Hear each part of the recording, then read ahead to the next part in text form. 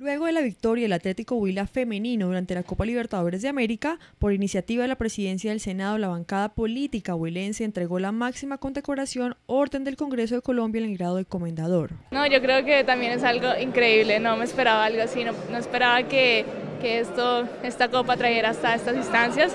Realmente es un honor para mí poder estar ante todos los senadores y poderles hablar del fútbol femenino. Durante la entrega que se realizó en medio de una sesión especial en plenaria de Senado, el presidente del Congreso, Ernesto Macías Tobar, felicitó al equipo por dejar en alto el nombre de Colombia y el departamento del Huila.